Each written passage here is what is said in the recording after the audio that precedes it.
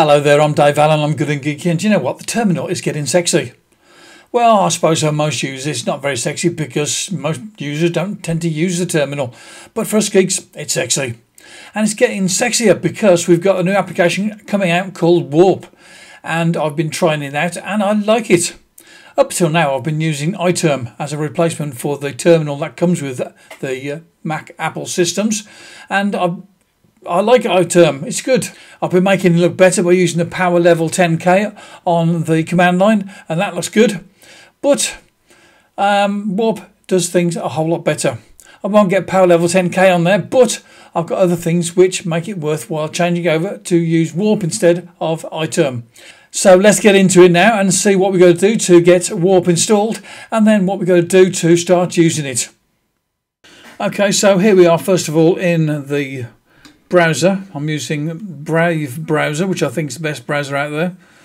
And we've got some choices here to install it.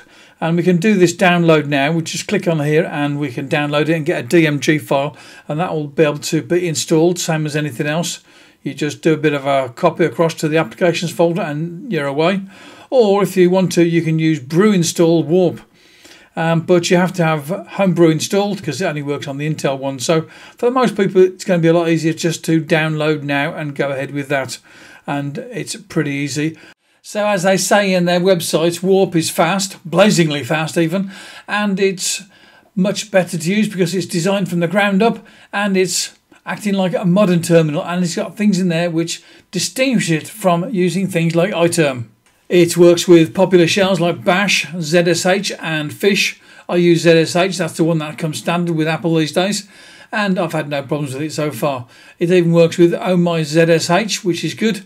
It doesn't work with Power Level 10K, which is a way to make your command line look better, but I'll make do without that until it gets added. I'm sure it'll get added at some point in time. So here we are in the Warp terminal, and I've got it set up so I've got a marble background to it, and it's uh, really sort of looking nice. These red parts here is where I've done something and it's not giving me any output. A little bit of customization and you'll notice that it's split up into areas like this area here, this area here. These are what they call blocks. So let's have a look and see what we can do with changing these themes first of all. Now the best way to do anything here is use Command P and then we can open the theme picker and then you can choose something like um, jellyfish or koi and the one I was using was Marble. I started off with using this one here called Dark. It's okay. Uh, a lot of people like this one called Dracula. Let's leave it as Dracula for a little while and change it back to the one I had earlier later. So let's uh, use that one there. Click on this tick mark down here and we're back in business. And we've got the warp working there with the Dracula theme. The command line is much better because it works as a proper text editor. So if you've got text in there, whatever text you've got in there and so on, if I wanted to select this bit here because I've made a mistake, then before what I would have to do is I'd have to move across like that and then go and get the uh, mistake out of it. Okay, and make it right. But now what I can do is, if I want to get that word there, I can actually use the mouse here and double click on that text and I've got it selected. I can delete it, I can put something else in there. It's got colour coding in there as well. So when it's got a command in there that it recognises, like cat for instance, it puts that in green. So that's kind of nice to know.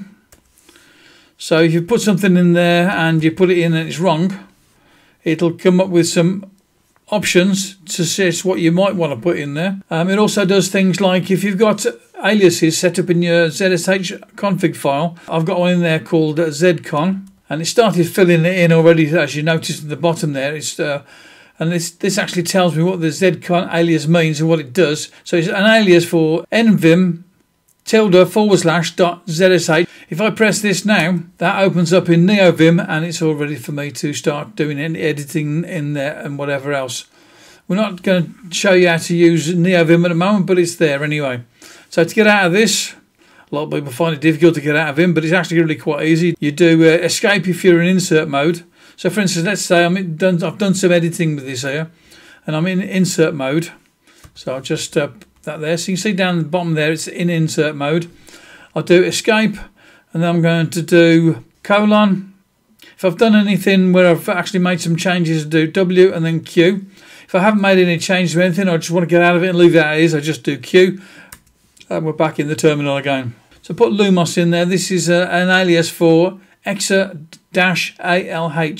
and this shows me all my hidden files in a folder and I've got the colours in there as well. So these colours here come in from exa and I think maybe from OZSH as well. So I've got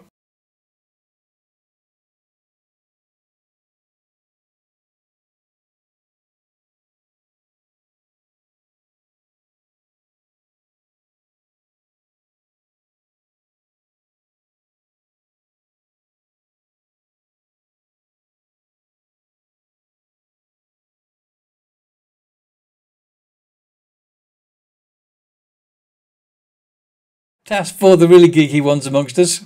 It's got artificial intelligence in there. Let's get some artificial intelligence going. I can just use control and uptick. I'm not there to get at it. But I can also get it from command P. And let's say I want to search for something. So um, let's say I want to do some copying of files. So this is a search going on now and it's going to give me some suggestions.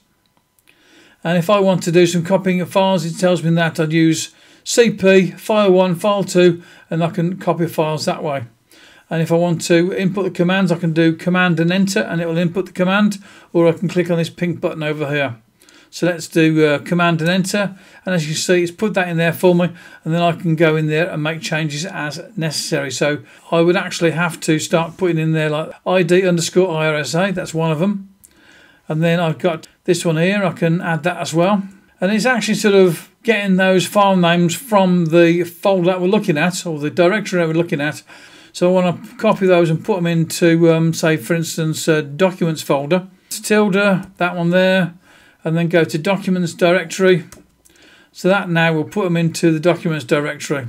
Now, if I go into that documents folder, we'll be able to see those files in there. So I'm going to uh, do uh, Z because I'm using Zoxide instead of the normal command. So I do Z then I'll do uh, tilde forward slash uh, documents, change that folder, and then I can do the ls command and I can show you and those files there, the ones I've just copied into that folder. I can do uh, rm to remove directory entries and actually get the uh, folders, the, get the files I want to get rid of. So id rsa file, and also I want to get the other one there, um, id and rspub. And I can delete both of those files. Press enter, do the ls command again, and as you can see now, those files are gone. So we're learning a few Linux commands while we're doing this as well, while we're looking at warp. Now then, we've got blocks. This here is a block. Um, this is a block. Didn't get any output out of one there, that's why it's coloured pink or red. This is a block. This is a block. What you can do with these blocks is that you can go over to this side over here and I can uh, bookmark the block so it's easier to scroll to, easier to get to it. And then I can also do things like go to this uh, copy command, I can copy the output, I can copy both. I can copy the prompt, um, I can copy the working directory. Let's uh, copy the working directory, I can show you that, so let's copy that there. Let's go down to the bottom of this one here, and that's the working directory of what I was in. So, um, for instance, if I'm uh, wanting to change there, I can do Z, and then I can do Command V, and that will allow me to change into that particular folder. So I'm now in uh, .ssh, can do uh, ls. It just shows a list of the files there without any extra information. Now we've got workflows in this here. Let's go look in workflows. I can't remember the uh, keyboard shortcut for workflows, but I can do Command P again. Let's start typing in workflows. The keyboard command I'd want to use for that is Control Shift and R. But let's press enter on this one here. And this here is giving me some choices here that I can use. So we've got all workflows. I can do a search and look find what I'm looking for. So if I'm looking to, for something to do with Git, I can start typing in git there and then go through these things here and find which git command I want to use. So I can clone a git repository with specific SSH key and user or I create a new git remote branch. All I've got to do is put that in there. And as you can see, I've got it set up so that it's git checkout dash B and then branch name. So I've got to just get rid of those there and the branch name, maybe I'll put a new branch name in there like hello world. That's what we always put in there. So that's a new thing in there. I can press enter now and it'll run those two commands. So there's a whole pile of stuff in there that you can choose from. Uh, no workflows found. I can create my own workflows. I haven't found how to do that, but we can do it. Um, we've got SSH stuff in there. And something I was doing earlier, keygen on the host computer, which is this one, then I was doing SSH into another computer and I could see what was going on there and have two things up at the same time. How do you do that? Well, if I do Command and D, I've got two panes open in this tab here. I can also actually have another tab open. So in this tab here is something different. So I've got to put something in there, just uh, Lumos again, so I can see what's in there. So that's in one tab there, look. Then I go into this other tab, I've got something else going in there. So if I want to do this one here, SSH keygen, that was what I was doing earlier. And as you see, I've got this popping up underneath here, which is the actual command that I used earlier. So if I press the right key now, it'll put that in there and that'll gonna that will generate a new key for me. So I was doing that over there, and at the same time, I was uh, SSH'd into another computer. I've got another computer called Mel, which I can SSH into. So let's do M E L, and that is an alias for SSH spondicious at melisandre.local. So I can click enter on that now, and that will start up my shell. So that's got me into the other computer there, so I can go into this computer and do stuff. So if I do ls in this one here, as you see, there's lots of lot more files in there for me to uh, directories and files for me to look at in there. And then I can change folder in here, so I can do uh, z uh, .ssh, which is where I was at before.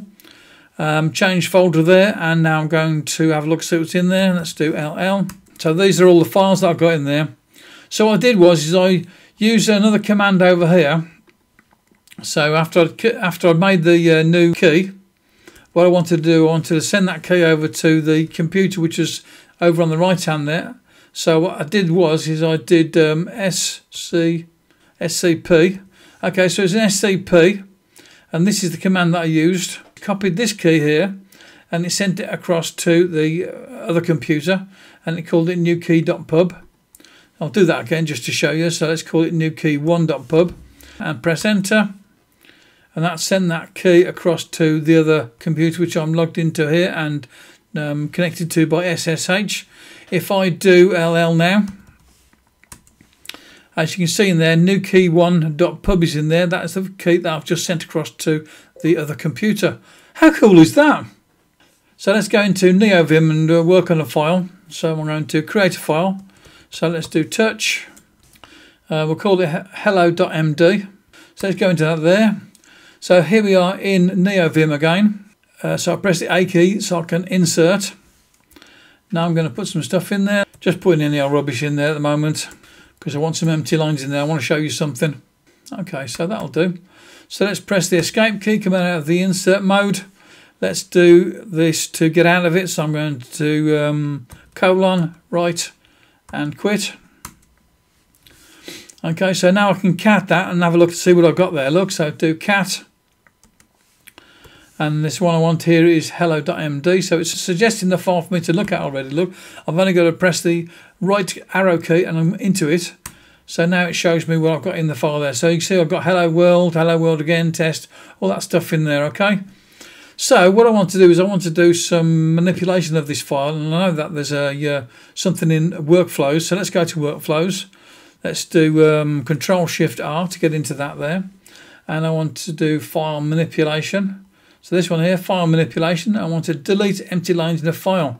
So let's put that in there and the file name is uh, hello.md and all I've got to do now is press this and you can see this here is what's in that file but it's got all of the empty lines taken out.